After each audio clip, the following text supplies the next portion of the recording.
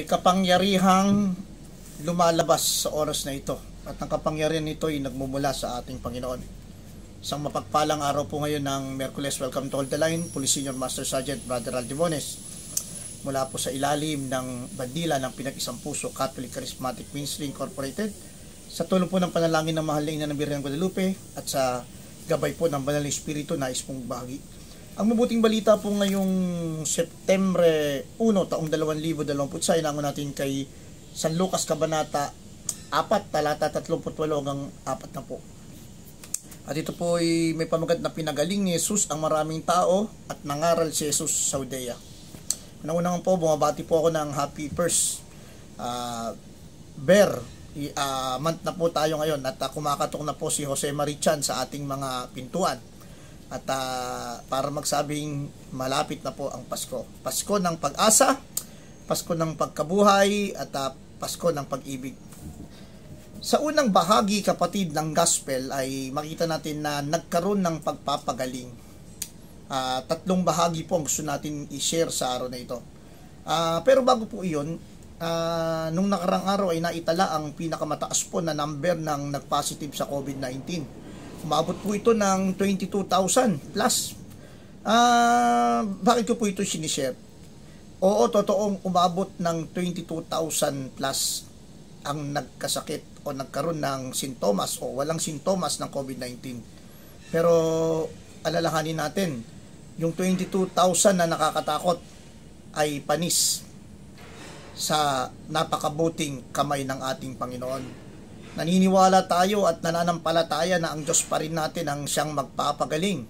Siya pa rin ang maghihil ng bawat magkakasakit na kung sino man ang manalig at magtitiwala ay nakatitiyak ng kagalingan at pagpapala at biyaya. Kaya napaka saktong-sakto pa rin po ang gospel ngayon. Sa araw na ito may sinabi ang ating Panginoon. Sabi ng ating Panginoon, Tumayo si Jesus sa tabi ng higaan ng babae at inuutos, maalis ang lagnat at nawala nga ito. Noon di tumindig ang may sakit at naglingkod sa kanya. Uh, sa gospel kapatid, makita natin na ang biyanang babae ni Simon Pedro ay nagkasakit. Pero makita natin na ang kapangyarihan ng ating Panginoon nang siyang nangibabaw. Sapagkat nung ito'y hinipo, nilehans ng ating Panginoon gumaling agad-agad at tumayo ang biyanang babae ni Simon at ito'y naglingkod sa kanya. First point ng gospel ay kagalingan. Kaya kung tayo man ay tulad ng biyanang babae ni Simon o tayo si Simon na nananalig at nagtitiwala na ang Diyos natin ay tunay nga na magpapagaling. Abay, hipan mo ang iyong kamay Hilingin natin sa ating Panginoon ang kamay na ito ay gamitin ng ating Panginoon na kung sino man ang papatungan na ito ng ating kung sino man papatungan ng ating kamay ay hihilumin ng Diyos na buhay. Kagalingan sa pagpatong ng kamay na ipinagkakalob sa atin na ginawa ng ating Panginoon. Second point ng sabi dito, naglib, nagsilabas ang maraming mga demonyo. Sabay sigaw, ikaw ang anak ng Diyos. Nakita natin kapatid, na ang sakit pala nung nanay o biyanan ni Simon Pedro ay hindi lamang physical na sakit, kung hindi ito'y spiritual na sakit. Napasok ng demonyo ang katawan ng biyanan na babae ni Simon Pedro. Uh, nagtataka tayo minsan bakit parang kahit anong inom natin ng gamot, ba't parang hindi tayo gumagaling. Siguro ito yung hilingin natin na sa kapangyarihan ng banal ni Espiritu, hugutin, tanggalin, palayasin ang masamang espiritu na nasa katawan natin na nasa katawan ng mahal natin sa buhay. Sapagkat hanggat naninirahan ng masamang espiritu sa temple ng Diyos, ito'y patuloy at patuloy na magkakasakit. Not only physical, but spiritual and mental. Sa second prayer natin, Lord, palayasin mo kung ano man ang demonyo nasa katawan ng aking kapatid, ng aking mahal sa buhay, na nagkakasakit sa oras na ito. Maaring ang sakit niya ay hindi likha ng physical na sakit, kundi ito ay spiritual na sakit. And then the third point na nakita natin sa gospel na ito, ang sabi ng ating Panginoon, subalit sinabi niya, dapat ko ring ipangaral sa ibang bayan ang mabuting balita tungkol sa paghahari ng Diyos. Kapatid, matapos mong maranasan ang pagpapagaling ng Diyos, matapos mong maranasan ang pagpapalayas ng demonyo, nasaksihan mo na, na napil mo na talagang umalis ang masamang espiritu sa katawan mo, sa katawan ng mahal mo sa buhay. Kapatid, may pananagutan tayo. Dapat din maranasan ito ng ibang tao. Hindi lamang ikaw, hindi lamang ng pamilya mo, kung hindi outside of your jurisdiction, outside of your community, outside of your comfort zone.